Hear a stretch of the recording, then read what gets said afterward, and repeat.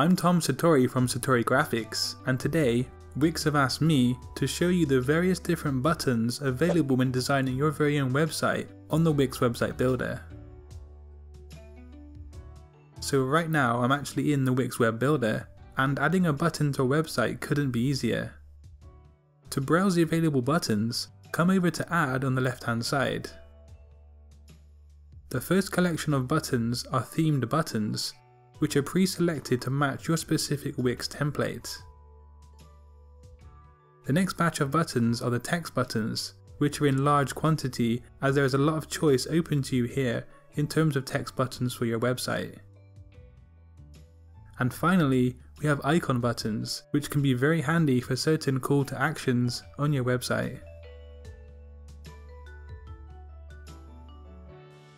To add a button, simply click and drag it onto your website like so. It couldn't be easier. You can then scale and relocate it around your web page as you so wish. Later in a different video, we're going to look into customization of these buttons, but for now, I'm going to quickly show you how to add a custom image as a button on your website.